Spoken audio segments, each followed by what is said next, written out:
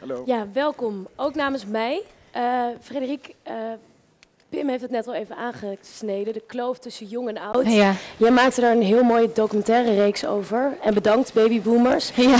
Wat vond je in deze gesprekken die je voerde, een van de meest opvallende gesprekken die er gevoerd werd? Wat werd er gezegd? Wat vond je daar bijzonder aan? Um, nou, het, het, zette eigenlijk een, een belangrijk beeld recht. Want ik denk uh, dat uh, tot voor kort heel veel mensen het idee hadden dat we heel veel armere, arme ouderen hadden in Nederland.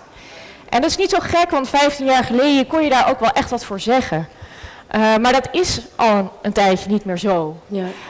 Um, en dat werd rechtgezet. En wat ook werd gezegd, wat ik erg interessant vond, is...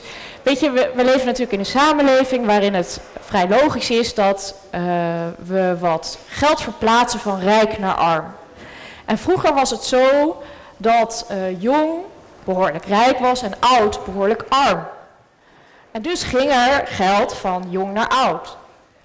Maar nu is het andersom. Jong is armer dan de ouderen. En Ja. toch gaat er nog steeds geld van jong naar oud. Ja, daar gaan, we het, daar gaan we het uitgebreid over hebben nog.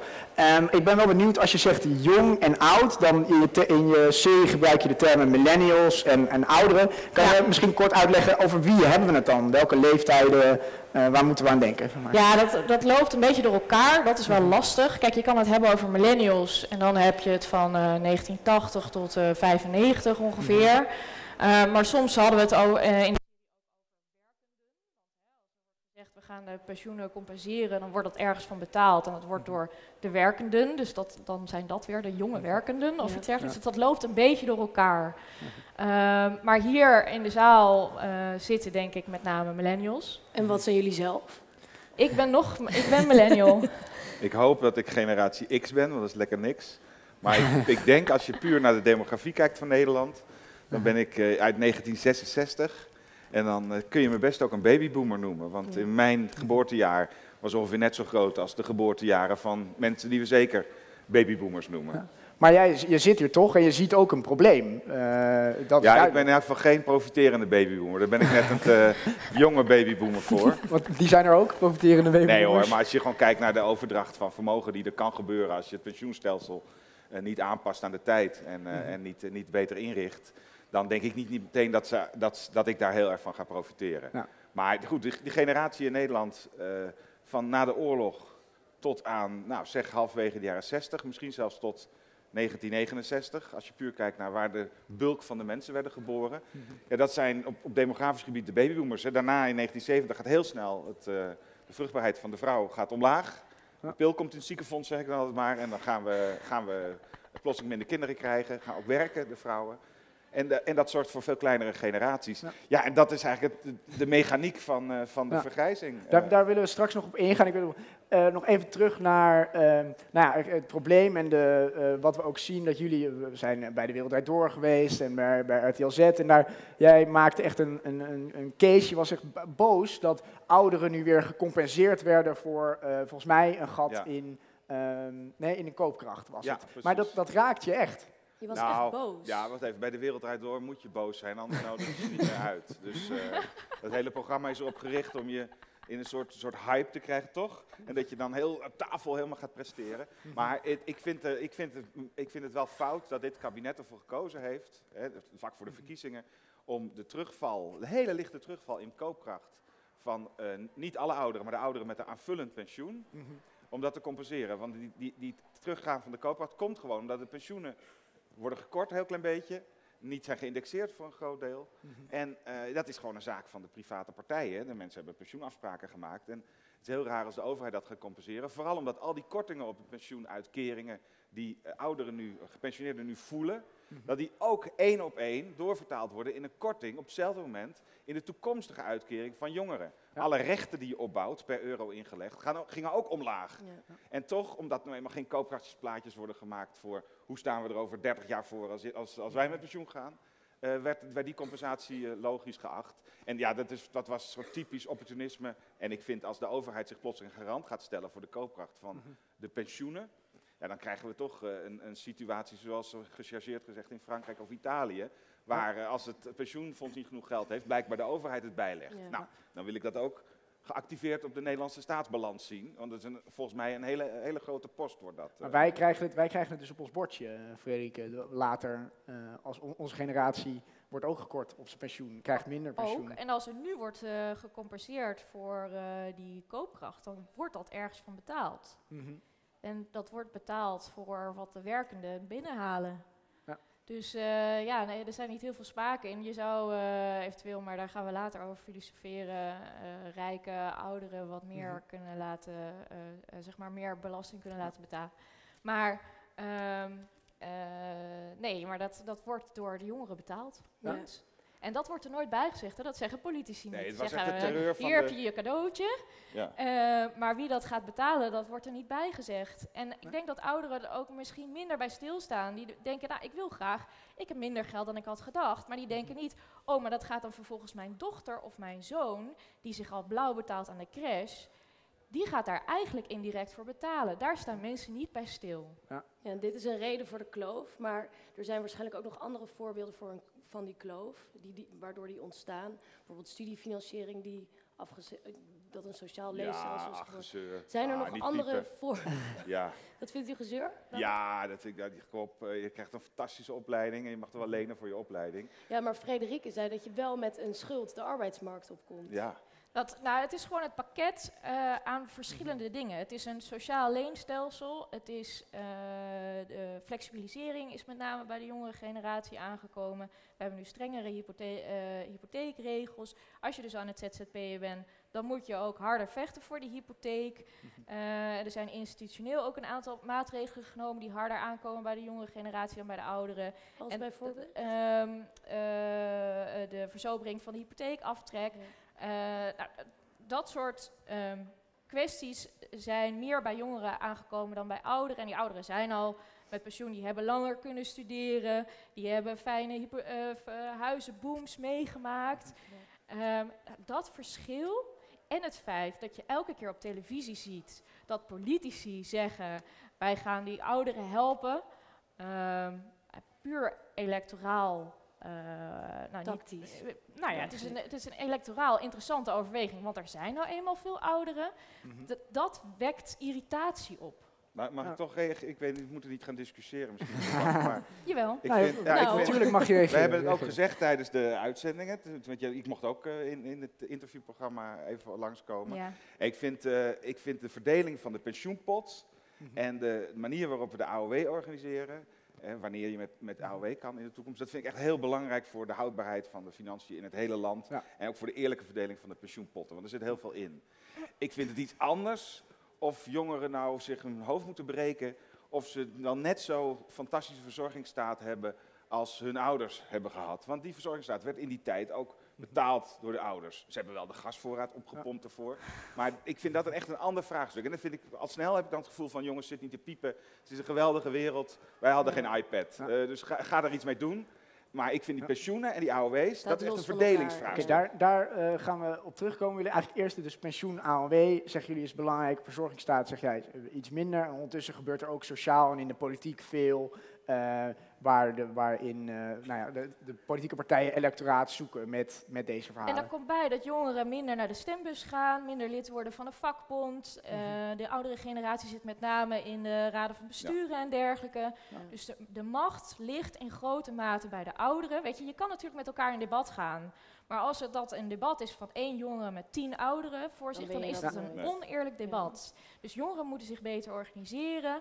eh, en ouderen kunnen zich misschien wat meer realiseren waar de compensatiemaatregelen en dergelijke door betaald worden. Wie dat doet. Oké, laten we even eh, teruggaan naar hoe, dit allemaal, hoe die kloof eigenlijk ontstaan is. Want de babyboomers, eh, de generatie die na de oorlog eh, geboren werd, ehm, ja, hoe zijn we vanaf daar eh, verder gegaan? Hoe is dat ehm, in, de, in de geschiedenis gel- gelopen? Ehm, nou, er zijn dus heel veel babyboomers geboren. Ja. en bij ons duurde die boom wat langer dan, eh, dan bij andere landen. Eh, die hebben inderdaad de gasbel van Slochteren uh, meegehad. Um, uh, economisch voorspoedige tijden in de jaren 70, denk ik. Dus, ja, was, als je terugkijkt was het eigenlijk heel goed. Jaren 80 waren ook best goed. Jaren 90 waren trouwens ook heel goed. Ja, ja. dat uh, iemand inderdaad ja. in het publiek. Dat was vrij voorspoedig ook voor de het waren 40 huizenprijzen. fantastische jaren. Het waren 40 fantastische jaren. Um, nu moeten wij natuurlijk nog maar zien. Hè. Misschien krijgen wij over een tijdje ook wel weer 40 fantastische jaren. Maar het feit is nou eenmaal dat wij, althans ik kwam de arbeidsmarkt op op het moment uh, dat de crisis uh, net was Flinke uitgebroken. ja, ik heb heel veel vriendinnen gehad die heel lang hebben gezocht naar een baan. Bij mij uh, viel dat gelukkig mee in de journalistiek, wat echt een meevaller is geweest. Mm -hmm. um, en dan die flexibilisering erbovenop. Dus je, je hebt een groep ouderen die 40 fantastische jaren heeft meegemaakt. En natuurlijk is daar een groep ouderen die dat. De een profiteert er wat minder, meer van dan de ander. Dat is gewoon zo.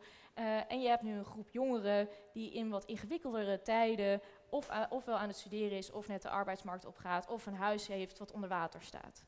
Ja. Ja, als je terugkijkt, die, economisch gezien is het altijd vrij makkelijk voor een economie om te groeien. Als er heel veel uh, mensen de arbeidsmarkt opkomen, en dat houdt een beetje de lonen onder druk, dat is goed voor je concurrentiepositie. Maar je hebt ook eigenlijk dus relatief goedkope arbeid, maar ook nog eens mensen die uh, vaak wel briljante nieuwe ideeën hebben, die creatief zijn. Dus die jaren 60, 70, 80 kwam er, er kwam, kwam, zat het echt wel mee op, op dat structurele gebied. Je hebt ook weinig kosten voor het onderhoud van mensen die niet meer kunnen werken. was één op de vijf mensen waren pensioenleeftijd. Dus dat was vrij makkelijk te betalen. Je kon ook makkelijk al sparen voor dat pensioen. En je ziet dat wereldwijd, dat op het moment dat de vergrijzing toeslaat, dat eigenlijk de economie ook in een lagere versnelling schiet. Maar dat gaat dan vooral over de economie. Maar ik neem aan dat er ook maatschappelijke thema's, individualisme zijn. Je hebt ook het geloof dat ervoor zorgt dat er een soort cement was tussen jong en oud. Hoe nou, ik weet niet. Ik, ik, ik denk dat als je, als je. Dan moet je iets oudere mensen nog uitnodigen dan ik. Maar als je naar de jaren 60 kijkt. Dat als je ooit een opstandige. Ja. Uh, uh, tegen de oudere generatie hebt gehad. Helaas zijn dat nu die nog steeds die opstandige babyboomers. die nu uh, nog steeds heel activistisch zijn. Maar dat, dat is natuurlijk. Het breukpunt, breekpunt van de laatste 50 jaar. ligt juist bij het opstand van de jongeren. Ja. Omdat die voor het eerste keer met meer waren. en in, in de babyboom de, de, maatschappij naar hun hand Ja. kon zetten. En toen kwam ook de golf van laten we een sociaal rechtvaardige maatschappij bouwen. En in de jaren zeventig kwamen het hele stelsel van uitkeringen, daarvoor natuurlijk al de AOW. En werd de verzorgingsstaat, eh, verzorgingsmaatschappij werd gebouwd. Uh, en ja, die, die, die is alleen maar draaglijk als je zo'n snel groeiende economie hebt met heel veel werkenden en weinig mensen die afhankelijk zijn van de verzorgingsstaat. En dat is eh, niet meer zo. Eh, Ja, sorry, heeft. Edith Schippers eh, ook eh, een mooie uitspraak over gedaan. Die zei de generatie die zich eh, voorheen eh, afzette tegen hun ouders, ze- verzetten zich nu tegen hun kinderen. Ja, Ehm, dat vond ik, vond ik best wel een treffende Dat is wel eh, heftig. uitspraak. ja. Nou ja, ja, dat het is, is dat is Henk Krol, eh, is- zie je dan helemaal voor je. Het is Die, ja. activistisch, hè? Het is niet per se eh, heel gemeen of zo, maar het is gewoon... wij Recalcitrant ja, eigenlijk. Ja. Nou, ik vind het wel opvallend dat mensen die vroeger lid waren van de PvdA of hoog waren in de FNV, nu ze wat ouder zijn, in, in- op de lijst gaan staan voor 50 plus. Ja. En dat zegt voor mij, als je gewoon kijkt naar wat 50 plus wil met, eh, met de maatschappij, zegt toch wel iets over dat die solidariteit in het verleden, waar ze het altijd over hadden, toch wel eh, wat egoïstischer was dan we Ja. toen dachten. Die, eh, die politiek komen we terug. En nog even in het verloop zijn we nu eigenlijk eh, gestrand bij ja, het tweede jaar 2000. Eh, maar toen kregen we die economische, economische crisis. Kunnen we daarvan zeggen dat wij nu eigenlijk de dupe zijn van die crisis? Omdat we het nu allemaal niet meer kunnen betalen opeens? Nou, wacht even. In de jaren 80 hadden we ook natuurlijk een eh, behoorlijke economische crisis. Hè? En op dat moment was het arbeidsaanbod, de extra mensen die op de arbeidsmarkt kwamen, was gigantisch. Dus ik denk dat als je als jongere de arbeidsmarkt op was gegaan, eh, halverwege de jaren 80, dat je het veel zwaarder had dan als jongeren nu de arbeidsmarkt Oké. opgaan. Want je ziet nu alweer dat er behoorlijke schaarste is, met name aan opgeleide eh, jongeren, mensen met een, met een hogere opleiding, met name een beetje in de techniek.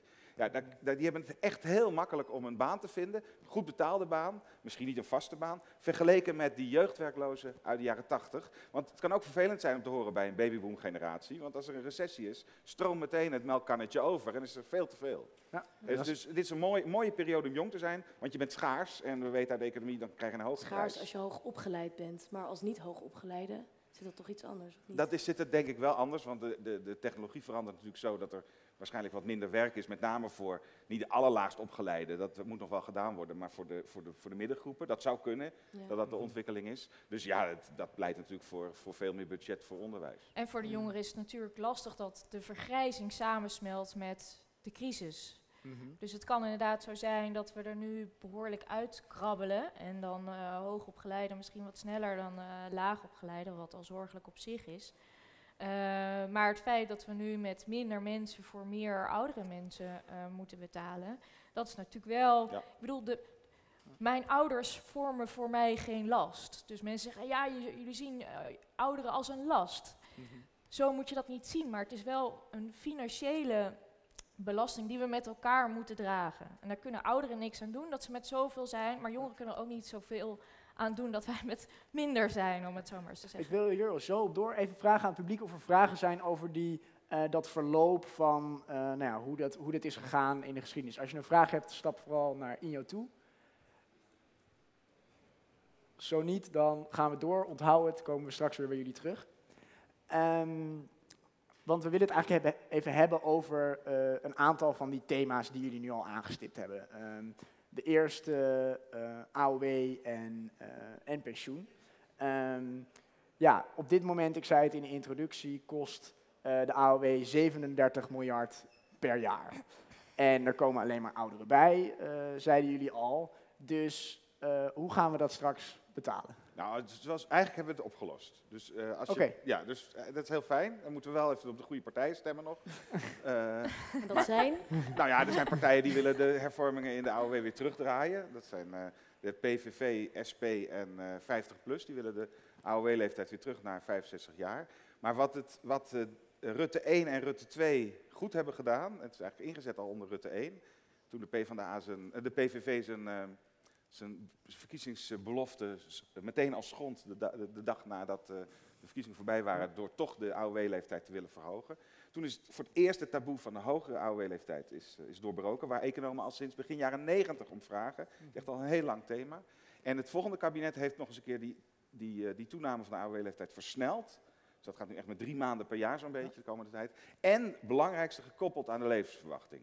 Dus eh, het CBS rapporteert aan de overheid, dit is onze nieuwe levensverwachtingtabel. En als er dan weer drie maanden bijgekomen is, je levensverwachting na je, tijdens je AOW, dan gaat er automatisch drie maanden bij de AOW uittreden. Maar dus het is opgelost, er is helemaal Nou, en geen als je dan, nou, dus als je kijkt wat, wat betekent opgelost, dat betekent als je het huidige arrangement, bij de huidige kennis over de demografische ontwikkeling, zou volhouden, dan krijg, en je tekent dan wat er gebeurt met de Nederlandse staatsschuld, hè, waar de AOW-uitgaven in zitten, dan explodeert de staatsschuld niet meer. Voorheen, als je dat soort plaatjes bij, ongewijzigd beleid zou tekenen, dan kreeg je een asymptotische staatsschuld, dus dat, dat was onhoudbaar. Per komen we niet betalen met z'n allen. Nou ja, in dan moest inderdaad voor nog een keer een beleidsmaatregel komen Ja. die, het, die het versoberde. De beleidsmaatregelen die, nu zijn genomen, als je dus extrapoleert, dan zie, krijg je een keurig eh, langzaam dalende, eh, houdbare staatsschuld. Dus vooral die koppeling aan de levensverwachting, waar we nog wel last van krijgen hoor, want misschien kan niet iedereen tot zijn zeventigste werken als we straks veel ouder worden. Ja. Maar die, die zorgt ervoor dat het, eh,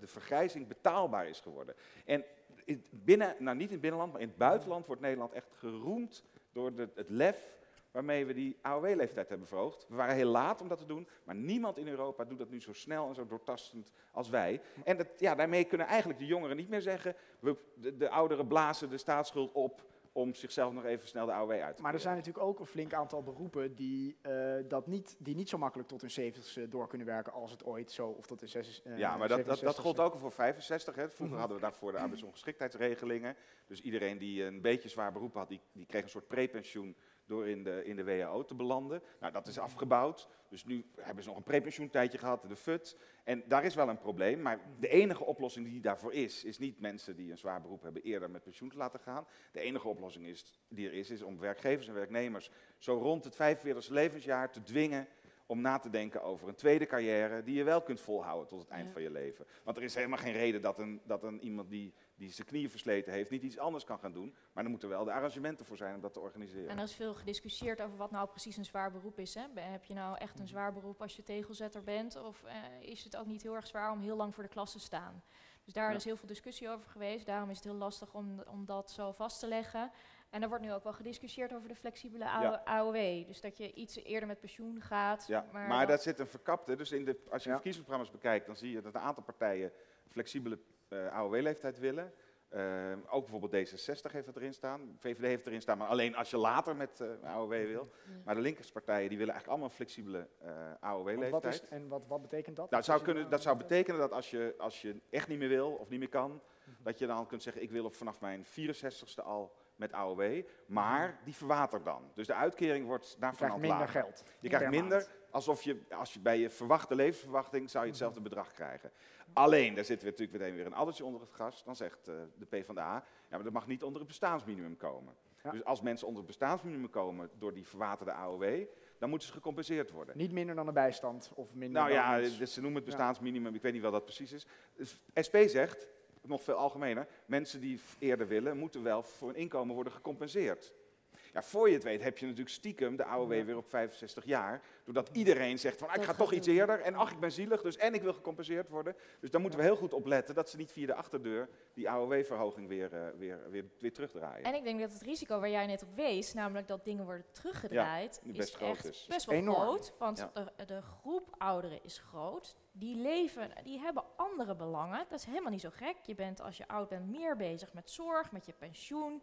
Eh, met eh, misschien eerst nog met het combineren van werk en vrijwilligerswerk. Nou, dat soort dingen. Als je jong bent, ben je meer bezig met onderwijs, met kinderopvang, al dat soort dingen. Mhm. Dus nou we hebben veel ouderen die gaan misschien dan meer stemmen voor partijen die de- de pensioen en zorg op nummer 1 en 2 zetten. Mhm. Die dus misschien maatregelen gaan terugdraaien. Ja, dan zit je weer met het oude probleem. ja. Dus eh, zeg maar, het, het risico is nog niet helemaal Ja, weg. het- Zeker ja. gezien het feit dat de piek van de eh, vergrijzing, we hebben het er nu al over, maar de piek van de vergrijzing is in 2040. Precies. Het wordt alleen, allemaal, je, allemaal dan- We zijn echt heel Ja. vroeg met deze discussie en moet je voorstellen hoe dat over 10 of 20 jaar is. Ja, het, CBS, het CBS schrijft in een vergrijzingsrapport, in 1950 was er minder dan 8% van de bevolking 65 plus. En in 2040 is dat 27%.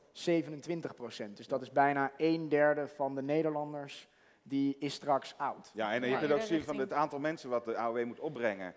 Was eerst 1 op 4, dus je hebt vier werkenden voor elke AOW'er. En straks, als je niks doet, wordt dat 1 op 2.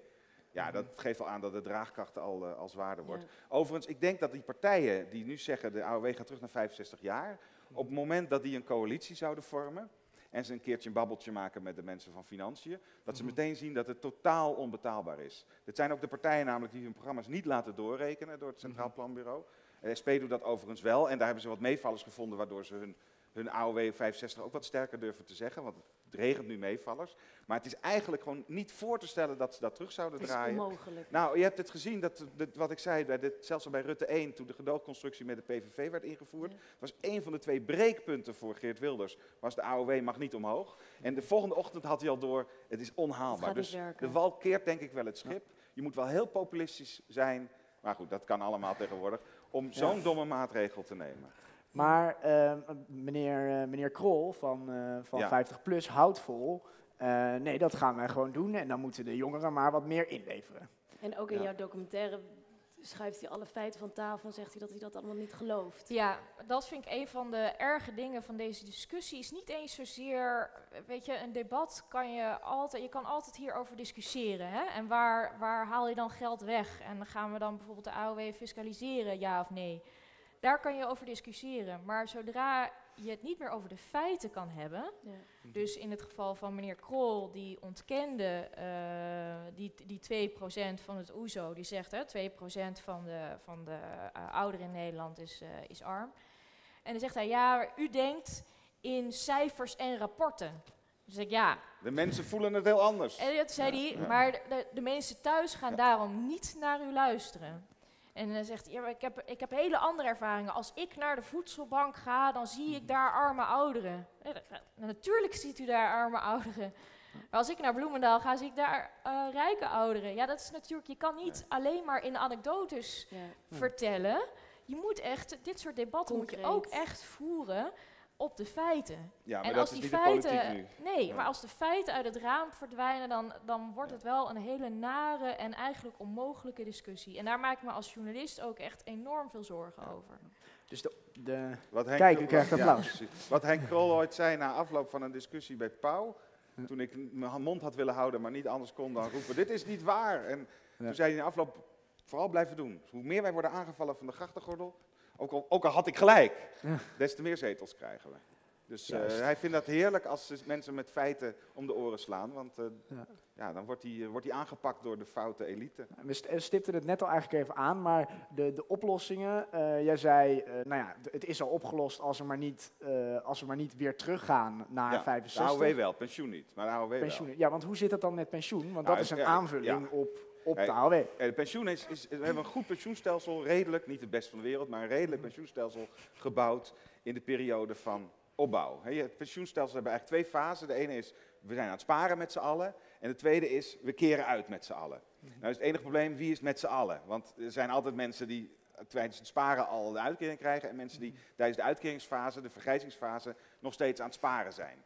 Nou, dat is eigenlijk geen probleem als je netjes eh, per generatie bijvoorbeeld potjes zou maken. Dan, hè, dan zeg je, we sparen met elkaar, we zijn collectief, we zijn solidair. Wij gaan gewoon een pot maken met elkaar. En als wij allemaal 65 zijn of 67, gaan we dat uitkeren. En gelukkig roken jullie allemaal, dus dan krijg ik meer, want jullie zijn vroeg dood. Nee, jullie roken niet, toch? Wel, nee. En, dus, dus dat is een heel handig systeem. Wat we alleen vergeten zijn, is dat je dat niet door de generaties heen moet steken. Dus je moet niet de solidariteit tussen de generaties gaan bouwen. En dat, hebben is, we nu wel. Nou, dat hebben we nu wel. Dat is ook helemaal niet erg in de opbouwfase. Want dan vindt iedereen het prima om een beetje mee te betalen voor die kleine groep ouderen, die vaak ook echt hele kleine pensioentjes hadden. Maar nu in de uitkeringfase komen, waarin er veel gepensioneerden zijn, moet je niet hebben dat je nog steeds die kleine groep premiebetalers kunt laten aanslaan voor problemen met de mensen die van die uitkering gebruik gaan maken. Dus daar moet een, een snee doorheen. Nou, dat, dat moet gebeuren in een grote pensioenhervorming, waarbij er een nieuw pensioencontract wordt geschreven, waarbij je ook niet meer met die rekenrentes hoeft te rekenen, want je hoeft niet meer te bepalen wat, wat, wat je, je, je, je bedrag wat je vroeger hebt gespaard nu waard is en wat die mensen moeten inleggen voor jou. Gewoon per generatie het regelen. Het is helemaal geen probleem, het kan gewoon. Het enige is dat dan ook de risico's bij de ouderen komen te liggen. Ja. En op dit moment kun je een pensioen uitkeren zoveel je wil in feite, omdat je altijd kunt zeggen, ach, dat maken we wel weer goed met premieheffing onder de werkenden. Gelukkig is er een toezichthouder die zegt van, zo gaan we het niet doen. We gaan niet eh, beleggingsresultaten nu alvast uitkeren die we in de toekomst nog moeten halen. Je moet rekenen met de risicovrije rente. En, en ja, je ziet het, het gevecht om die risicovrije rente nu ook in de politiek eh, zich... eh, Dat is de discussie over het indexeren van... Nee, niet van het de indexeren. Het indexeren is nog, dat is helemaal het cadeautje, het kerstje op de taart van het Nederlandse systeem. Eigenlijk sparen wij met z'n allen genoeg om, een, om een, gewoon een nominaal netjes een pensioen te krijgen, gebaseerd op je gemiddelde inkomen. En als er dan over is, als er zo goed belegd is dat er nog over is, dan gaan we daarmee nog de koopkracht compenseren. Dus de prijsindexatie uitkeren. Is nog eens extra ons best doen. Ja, dus dan maar moet je eigenlijk dat uit de overwinst doen. En wat we nu willen, en sommige partijen willen dat echt, PVV schrijft het, de eh, 50PLUS schrijft het, en terug naar 65, en die indexatie gaan uitkeren, die eigenlijk betaald moet worden uit toevallige eh, overwinsten. Ja, dat is, dat is het weggeven van geld, waarmee de pot sneller leeg gaat, en waarmee dus, dus straks minder geld is, niet niks, maar minder geld is voor de mensen die nu eh, Ja. premie opbouwen. Frederik, ben jij het daarmee eens ook? Wat Matthijs zegt? Eh, nou, eh, Matthijs is een grotere pensioenspecialist dan ik, dus dat geef ik eigenlijk gelijk toe. Ik denk wel, eh, waar echt een punt in zit, is dat als je wat meer met individuele potjes werkt, dat je dan het generatieconflict, als je het zo kan noemen, eh, zeg maar, dan haal je de angel daar wel uit. Eh, dat, dat lijkt me eh, heel erg belangrijk. Dus partijen die daar naar kijken, er zijn verschillende opties eh, in, vormen voor bedacht. Ehm, eh, die hebben wel mijn voorkeur, laat ik het zo zeggen.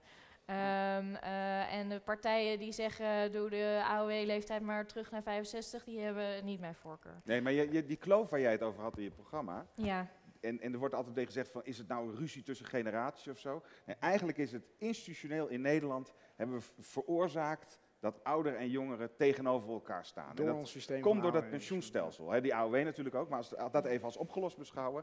Maar in het pensioenstelsel zit een, automatisch een soort ruzie om de pot. Ja. En, en ik kan me best voorstellen dat je als je ouder bent en je wordt hard gekort, of een beetje gekort, op je inkomen op dit moment.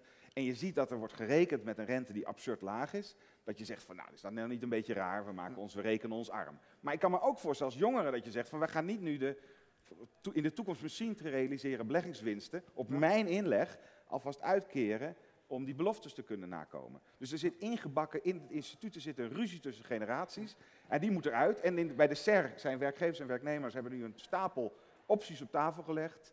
Kun je gewoon lezen, zie je dit soort zo'n pensioenstelsel, zo'n pensioenstelsel, allemaal beter dan wat we nu hebben. En de politiek moet nu kiezen, en wij zouden eigenlijk naar de stembus moeten, om voor de politiek te zeggen, wij willen voor- versie 4 sub B.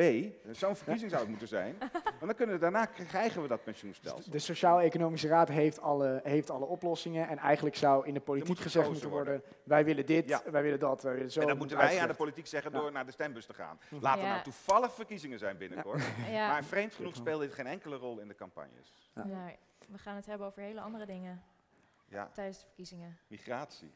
Wat betreft, wat betreft hele andere dingen, eh, volgende thema: flexibilisering van de arbeidsmarkt. Eh, dat is ook een, eh, een belangrijk probleem of iets waar je, wat, wat je om je heen ziet. Jij stipte het al even aan, vriendinnen die geen baan kunnen, kunnen vinden. Ehm, hoe ehm, zien we dat? Zeg maar, vroeger konden ouderen lang studeren of lang bezig zijn, hadden vrij veel zicht op een vaste baan, et cetera. Wij gaan van flexbaan naar flexbaan naar flexbaan. Hoe eh, kunnen we dat aanpakken? Ja, Matthijs, jij bent daar volgens mij vrij eh, niet zo zeuren. Het is wel goed zo eh, in, Nee, toch? ja, ik vind dat je kunt absoluut niet denken dat je in de, in de moderne economie, als we nog een beetje groei willen ook, en, eh, en eh, willen profiteren van technologische ontwikkelingen die eh, wereldwijd ontstaan. Als we zo'n e- Nederlandse economie willen hebben, en die hebben we nu hoor, maar als we dat Mhm. willen volhouden, kun je, moet je gewoon vergeten dat een carrière bij dezelfde baas, lange tijd, met een vaste baan en elke twee jaar een stapje hoger in de cao-loonstrookjes, dat, dat dat een optie is voor jullie. Dat zou jij niet eens moeten willen, want dan krijg je een hele stomme, suffe jaren 70 economie, die helemaal niet past bij wat, waar, je, waar je winst mee kunt maken als bedrijf. Dus we moeten naar een stelsel waarbij arbeid flexibeler is, waarbij in plaats van baanzekerheid, ik mag altijd bij deze baas blijven, je werkzekerheid hebt. Ik ben altijd geschikt om op alle plekken die toevallig ontstaan in de dynamische groeiende economie, om me daar, om me daar te kunnen, eh, werk te kunnen vinden. Naar zo'n systeem moet je toe. En daar moet je veel meer voor pleiten dan wij willen ook de rechten van de ouderen. Het enige is, en in Nederland hebben we natuurlijk nu wel weer een systeem waarbij het verleden nog altijd heel belangrijk is. Er zijn heel veel mensen die nog steeds recht hebben op een vaste baan bij dezelfde baas. Ja. En dat geeft niet genoeg flexibiliteit voor de economie. Dus hebben we voor de nieuwkomers bedacht, immigranten, vrouwen, jongeren, dat die de flexibele schil vormen. Ja. En dat is die, oneerlijk. zorgen, en die zijn een beetje de buffer voor de grote buitenwereld, wereld, de boze buitenwereld, die steeds maar verandering wil. Zodat dat centrum zijn vaste baan kan houden. En laten we dat dan maar gewoon de oude witte man noemen. Die zit dan, dan lekker op zijn vaste baan. Dus een soort overgangssituatie. Maar je moet nooit gaan streven naar ook bij die, bij die, bij die oude witte mannen gaan horen. Maar je- daar zie je dus eigenlijk ook een soort van kloof ontstaan tussen de twee, de twee groepen die je net beschrijft. Ja, die is, dat is niet alleen jong-oud. Dat, is- dat heeft ook te maken met hoog of laag opgeleid. Ja. Dat heeft ook te maken met, eh, met eh, oorspronkelijke Nederlander of eh, immigrant. Mhm. heeft ook te maken met, eh, met jong en oud en man en vrouw. Dus het zijn op, eigenlijk op alle dimensies zie je het verschil tussen flex en vast. Ja, ik denk nee. toch, ja, ik ben, ik ben iets minder ehm hoezee voor de flexibiliteit dan jij, denk ik. Ik ben wel, ik moet altijd bij zeggen, bij journalisten, dus ik ben nooit ik, een beetje voorzichtig met de oplossingen voor eh, eh, problemen. Maar ehm, eh, ik denk dat je de, de gevolgen van economische onzekerheid niet moet onderschatten. Er is altijd een hele discussie, hè, van wat, wat leidt nou precies tot populisme en is dat dan identiteit, is dat eh, je blik op migratie, maar in heel veel interviews en onderzoeken zie je ook terugkomen dat eh, economische onzekerheid daar een hele grote rol eh, in speelt. Ehm, eh, dus Ja, maar je ik kunt denk de echt wel dat we hebben daar een beetje in zijn ben er heel doorgeslagen. erg dat voor we zekerheid snel op hebben werk. aangepakt. Hm? Ik ben heel erg voor zekerheid op werk. Maar niet bij dezelfde baas. Maar jij zegt eigenlijk, Frederike, dat je moet uitkijken voor, voor die gevolgen. Dat het, het leeft wel onder, eh, onder de generatie. En eh, dat blijkt ook uit onderzoek dat nog steeds jongeren eh, eigenlijk een vaste, een vaste baan het liefst hebben. En jij, Matthijs, jij zegt dat is niet meer mogelijk. Vergeet ja, het. je kunt heus wel, als je bij de overheid gaat werken, dan sukkel je lekker door tot je pensioen, prima. Maar ik denk dat als je kijkt hoe bedrijven tegenwoordig werken met continu veranderende, zelfsturende teams, met innovatieve projecten hier en daar, en dan hebben ze gauw, plotseling gaan ze een hele andere richting op, hebben ze daar mensen voor nodig, en dan gaan ze dat weer proberen. Dat, dat, dat, dat, daar horen arbeidsmarktinstituties bij die niet zozeer zorgen dat mensen op dezelfde plek kunnen blijven zitten, maar die zorgen dat mensen continu juist heel goed zijn in jobhoppen en continu alle kansen kunnen pakken. Dus het heeft veel meer te maken met opleiding en met tussentijdsopleidingen en met prikkels. En toevallig, ik ben er een beetje gehyped Maar je over. bent wel tegen de studiefinanciering. Ah, je kunt je het wel net zo goed lenen. Dat is, eh, ik bedoel, als ik, een- als ik, Als opleiding zo belangrijk is. wel terug. ja, maar dat is toch, kijk, als je dingen gratis weggeeft, dan worden er altijd hele slechte keuzes gemaakt. Dus toen de studiefinanciering allemaal gratis geld was, ging iedereen studeren, want dan kon je nog meer bier drinken. Nee, je moet gewoon lenen en dan kun je een goede afweging maken tussen rendement en risico. Mhm. En dan zie je welke, welke Oké, studierichting. laten we Ga je- dat, laten ga we je dat daarna even... lekker ZZP'en en dan ga je daarna moeilijk een hypotheek krijgen en dan ga je daarna... Nee, ja, ja, maar goed, dat is ook alleen maar relatief. Als iedereen ZZP'er is, dan zeggen niet de banken, oh, wij, zijn, wij stappen uit het hypotheekbedrijf. Ze geven nu natuurlijk liever een hypotheek aan iemand met een Ja, vaste maar baan. is- Maar als iedereen flexibel is- je bent dat er, niet, je iedereen bent het er gaat duidelijk niet mee eens. Nee, maar in, flex, in flexlanden zijn er niet minder hypotheken of zo. Eh, Of, of, of, minder, of meer populisme. Eh, het is niet zo dat, dat in Nederland alle mensen die een flexbaan hebben PVV stemmen. Nee, zo is het nooit. Nee, dat snap ik wel. Ik zeg alleen dat je de consequenties van die economische onzekerheid niet moet onderschatten. Ja, maar de- goed, ik was dus in, in Denemarken gisteren. Mhm. Om dit, dit, want in Denemarken hebben ze dat een beetje anders geregeld.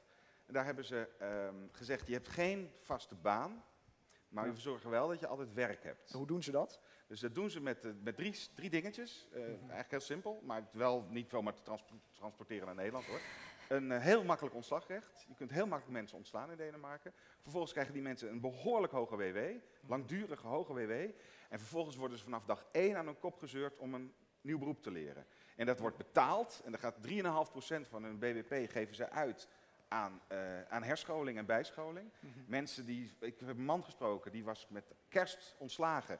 Die volgt nu zijn opleiding tot vrachtwagenchauffeur, vijf dagen per week. Anders krijgt hij geen uitkering, wordt hij gewoon keihard gekort. En die begint in februari met zijn eerste baan als vrachtwagenchauffeur. Nou, kom daar maar eens om in Nederland. In Nederland dan ga je, als je werkloos bent, ga je eerst even een half jaar boos zijn op de baas. Dan ga je wachten tot je WW voorbij is. En die- die- en Dus dan eigenlijk ga een je weer cliché. Matthijs. Wat een cliché. Maar die opleiding wordt betaald door de overheid in Denemarken. Die wordt door betaald. Is in, Nederland, in Denemarken is de overheid irrelevant. Het wordt allemaal betaald door de vakbonden en de werkgevers. Daar hebben ze een heel apart systeem voor. Mhm. Iedereen is lid van de vakbond en betaalt dan eigenlijk zijn eigen opleiding. Zou dit een oplossing zijn voor, voor Nederland ook? Nee, niet hetzelfde. Dat valt niet te transporteren. Er zijn er honderd jaar mee bezig om dat zo te bouwen. Maar ik denk wel dat, een, dat je best kunt zeggen, we maken de baan minder vast. Maar we zorgen tegelijkertijd dat je makkelijker werk vindt. In Denemarken zijn, is de periode dat mensen werkloos zijn drie keer zo kort als in Nederland. Mhm. Alleen veel mensen zijn wel veel vaker werkloos. Dus dan Ja. kun je, het worden, zijn meer, meer jobhoppers geworden. Oké, duidelijk. Zijn er vragen uit het publiek over pensioenen, over flexibilisering? Zal ik even staan? Oké. Ik ben Daniel. Ik heb een eh, vraag voor de twee panelleden. Ehm, ik denk dat er een, eh, een cultureel verschil is tussen de oudere en de jongere generatie. Namelijk, de oudere is heel goed georganiseerd, die weet, eh, die elkaar te vinden. Eh, die zijn niet individueel opgegroeid op Facebook, op Hives, moeten niet een sociaal profiel maken, wat helemaal mooi en gelukkig is. Eén vraag. Ja, nou ja, er speelt een depressiegolf onder jongeren. Er zijn nog nooit zoveel zelfmoordcijfers geweest onder jongeren. Dat je kan het een epidemie noemen. Eh, is het een verantwoordelijkheid voor de ouderen om beter te gaan luisteren naar hun eigen generatie en niet dat verhaal van niet miepen. Jij, jij moet gewoon eh, dealen en hard werken voor je geld. Nee, ook een beetje inlevingsvermogen van ouderen voor problemen van nu. Zoals ongelukkigheid door social media en dat soort dingen. Frederik, wat denk jij? Ehm, goh. Eh, ik denk dat er, er zijn verschillende, het eh, eh, inderdaad verschillende belevingswerelden. En niet alleen door de, zorg of, ehm, of dat je pensioen dichterbij is of dat je al pensioen krijgt of iets dergelijks. Maar ook inderdaad die digitale belevingswereld. Ehm, maar ik denk eerlijk gezegd dat het een two-way street is. Ik- denk, ik heb heel veel leeftijdsgenoten die echt heel weinig hun oma bellen, om maar een voorbeeld te noemen. Eh, ik kom persoonlijk op een leeftijd dat, het, dat, eh, eh, dat ik op een gegeven moment, ik ga nu steeds meer voor mijn ouders zorgen in plaats van andersom. Dat is op een gegeven moment het proces wat, wat op gang komt. Eh, en dat, dat mag denk ik wel wat meer. Maar dat is niet alleen ouderen die wat, zich wat meer verdiepen in die jongere belevingswereld. Overigens ook van klimaatverandering en dergelijke, waar wij wat langer mee te maken gaan krijgen dan eh, de oudere generatie.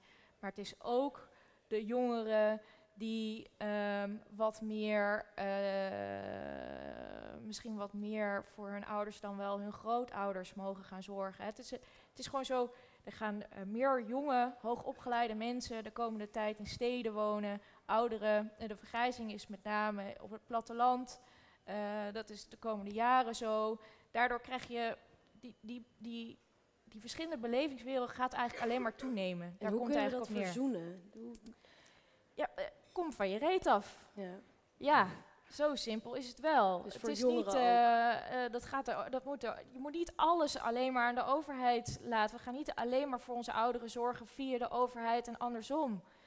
Eh, dat, dat- en dat, hoeft, dat kan prima via technologie. Dat kan prima door even wat vaker te whatsappen of te bellen. Of er is een hele leuke app, vind ik, Oma Post. Dan kan je je digitale foto's sturen naar je offline oma, weet je. Ja. Er zijn echt wel eh, hele millennial manieren om meer of en beter voor elkaar te zorgen. En ik denk dat dat net zo goed geldt voor die ouderen die misschien zich wat meer kunnen verdiepen in het feit dat je steeds maar je Facebook en je Twitter en al die nieuwsdingen die op je afkomen, het feit dat je online ook nog leuk moet zijn, naast het feit dat je hier op de universiteit er leuk uit en goede cijfers en die prestatiemaatschappij. Ik vind het eerlijk gezegd een two-way street.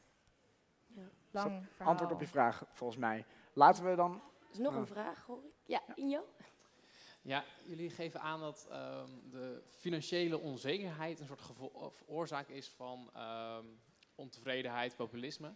Ehm, maar is het niet ook de onvoorspelbaarheid van je toekomst eh, dat het onzeker maakt? Dus op het moment dat je je baan verliest en je weet dat je werk gaat krijgen, dus die werkzekerheid waar je het over hebt, ehm, dat voorkomt niet dat je eh, eh, eh, onzekerheid hebt over je toekomst. Dus ik weet niet hoe ik volgende maand erbij zal zitten. Is het niet juist die onzekerheid die zorgt voor ontevredenheid en populisme?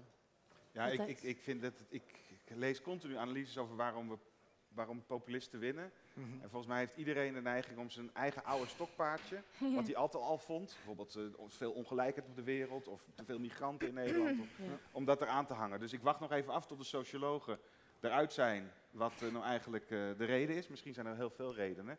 Ik, ja, sorry, onzekerheid. Ik, ja, ik mag niet zeggen dat die niet mogen miepen, maar... ehm, eh, Jij vindt het geen issue. ja, nou ja, je kunt, er was vroeger zo'n zo'n zo'n Griekse denker die ging in een ton wonen zonder kleren. Die was niet onzeker. Die had een ton en die had geen kleren. Dus je leeft in deze wereld en je wil, je wil blijkbaar alle dingen bereiken met je leven. En je wil meedoen met de maatschappij. En de veranderingen gaan sneller. En je moet alles bijhouden tegelijkertijd. En de technologie. En ook nog leuk zijn op Facebook blijkbaar. Nou, stop daar gewoon eens mee. Dat hoeft helemaal niet zo leuk te zijn op Facebook. Eh, dat, dat is ons, lijkt me ontzettend veel druk geven. Lijkt me echt... Maar ja, eh, eh, sorry. Dat, dit is het.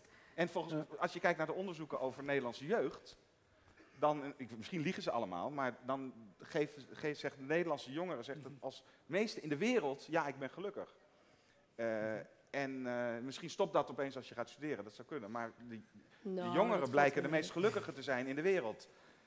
Eh, misschien ook omdat ze zoveel kansen hebben die dan leiden tot, tot eh Maar onzekerheid. de ene persoon kan beter omgaan met onzekerheid dan de ander.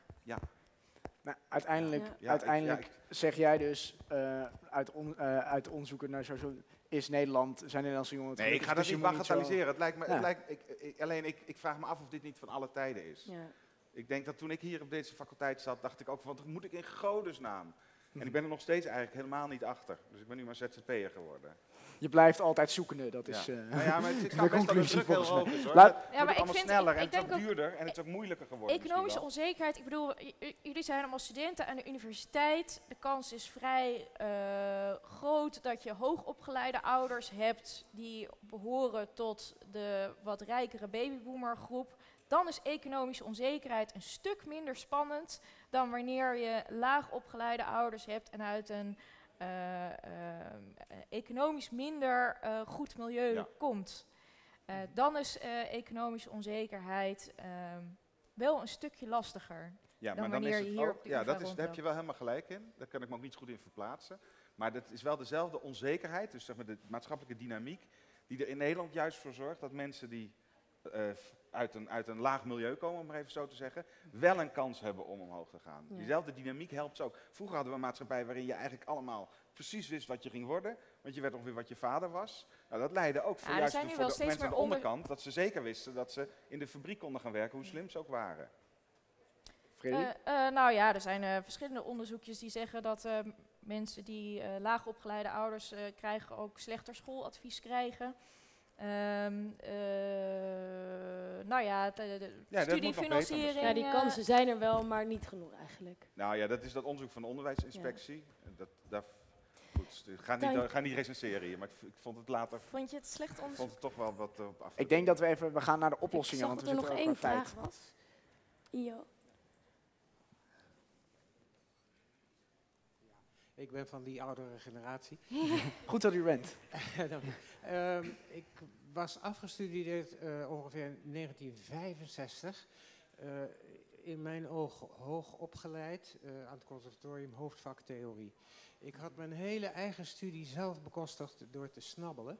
Want er werd mij gezegd, voor die studie die jij doet, dat, dat, moet je eigenlijk niet doen, want daar is geen werk voor. Maar ik wou die studie doen en ik heb hem ook afgemaakt, ik heb het diploma gekregen. Ik weet nog heel goed dat ik toen dacht, wat zal er ooit van mij worden? Over onzekerheid gesproken. En toen ben ik dus, eh, heb allerlei werk eh, kunnen regelen, ook hè, spelen enzovoort. Tot ik uiteindelijk voor dat beroep waar ik voor was opgeleid, pas in die eh, geweldige jaren 70 werd aangesteld aan het conservatorium waar ik overigens ook aan gestudeerd heb en ook nog elders. Dus die onzekerheid, dat kan ik, dat kan ik helemaal denken ook dat dat van alle tijden is. Heldere stelling, volgens mij. Geruststelling ook, Ja. denk ik. Ehm, dank u wel. Ehm, we moeten, eh, omdat we alweer bijna, het is alweer bijna twee uur, eh, willen we nog even kijken naar, eh, naar de politiek. Eh, wat de politiek nu eigenlijk als eerste zou moeten doen en wat wij als jongeren. eh, Ja, want we hebben het veel over problemen gehad, maar wat zijn de oplossingen eigenlijk? En dan vooral inderdaad de politiek. Frederik, eh, welke van deze problemen die we geschetst hebben, zijn echt problemen waarvan je zegt die kunnen snel opgelost worden en die moeten ook snel opgelost worden? Wat is echt het belangrijkste probleem? Goh. Of zijn die er niet? jawel. Het belangrijkste probleem is eh, dat jongeren niet zo actief zijn. Ja, je wilde nu iets horen over de AOW of de pensioenen of dat soort dingen. Maar dat ga ik niet zeggen. Ehm, ik vind het belangrijkste probleem is dat eh, eh, jongeren niet lid worden van een vakbond, en niet eh, lid worden van een politieke partij, ehm, een, Facebook-post eh, liken eh, En en, het daarbij houden. Eh, weet je, ik zeg niet, ik, vind, ik ben best wel trots op mijn generatie, omdat eh, we ook best wel denken in positieve oplossingen. Hè, het ondernemerschap, eh, de can-do-mentaliteit. Is dus ook zo, iets grappigs als hè, we hebben eigenlijk heel weinig ruimte om te wonen, dus dan bedenken we maar de tiny house movement. Dat soort dingen, weet je, we maken van een probleem iets positiefs en we proberen het op te lossen. Dat vind ik iets heel moois aan mijn generatie. Ehm, maar de voor ons misschien wat ouderwets ogende eh, eh, wijze om politiek actief te worden en voor jezelf op te komen, staan. dat doen wij echt te weinig. En dan kan je zeggen van ja, maar dat is niet helemaal onze stijl en zo, maar dat is wel hoe er nog beslissingen worden genomen in Nederland. En als je het niet op die manier doet, je kan het op een hele creatieve manier doen, maar wel via die, kana- die kanalen. Als je het niet via die manier doet, dan heb je geen stem. En dan wordt er eh, geld van de jongeren gepakt en die worden aan ouderen gegeven. Ehm, dan wordt er niet genoeg gedaan aan klimaatverandering. Dan worden jouw leeftijdsgenoten die uit een ander land komen, of ouders hebben die uit een ander land komen, gediscrimineerd.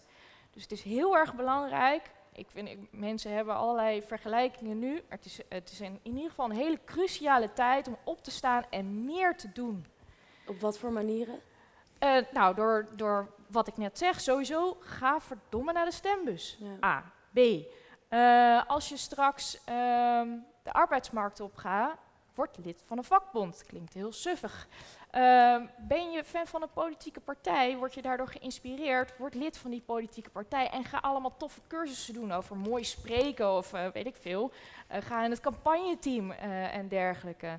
Ehm, er zijn genoeg eh, stichtingen die je kan steunen. Er zijn heel veel toffe campagnebureaus die mooie dingen maken. Weet je, er zijn zoveel verschillende manieren. Je hoeft niet allemaal eh, lid te worden van eh, een politieke partij. Er zijn zoveel verschillende manieren om meer te doen. En niet alleen maatschappij breed, maar ook voor je buurman of je ouders. En uiteindelijk zijn die eenzame ouder is ook gewoon je oma. Ehm, dus meer, Laat Doen. je zien, ja, eigenlijk. laat je zien. Minder op En- Facebook. En Matthijs, als we meer economisch kijken, welke, welke maatregel over AOW, pensioenflexibilisering kan de politiek eigenlijk na de, eh, na de verkiezingen direct eh Nou ja, er zijn de, de drie thema's waar tijdens de campagne niet over gaat, maar Mhm. die tijdens de coalitiebesprekingen straks volgens mij op tafel liggen en dominant zijn. Mhm. Dat is het nieuwe pensioenstelsel. Het is gewoon eh invuloefening bij de SER. Het kan. Over een half jaar klaar zijn. Moet wel nog wat geld bij trouwens, maar dat vinden we ook wel in deze economische tijden weer. Mhm. Het de tweede is eh, de- de- het opnieuw eh, formuleren van de relatie tussen flexibele en vaste banen. En dat heeft, eh, heb- dit kabinet heeft geprobeerd dat te hervormen, maar dat is volstrekt mislukt. Met de, de regelingen rond de ZZP'er en met de wet werk en zekerheid. Het is eigenlijk de verkeerde kant op gegaan. Dus dat moet helemaal uithuilen en opnieuw beginnen. Ehm, ja, en ik persoonlijk, maar goed, dat, dat is niet om bij jou te slijmen, vind ik het klimaatbeleid in Nederland is natuurlijk desastreus. En we hebben notabene een VVD als Henk Kamp nodig om nog iets van een molentje ergens te krijgen. En, Dat- en dat, is, dat, is, dat zou het volgende kabinet van mij ook echt mogen op. Dus het mooie is, als iedereen nou SP en PVV stemt, dan komen die niet in het kabinet. Dan moeten de links en rechts moet bij elkaar. En dan krijg je echt een heerlijke soort brei van Jesse Klaver met Mark Rutte. Een soort groen rechts wordt dat dan. En dat, volgens mij wordt dat wel eh, leuk. Maar zeg je nou dat iedereen... Niet wat, deze, wat dat was gaat je stemadvies? Tot slot, tot Ja. slot. Wat? Nee, niks.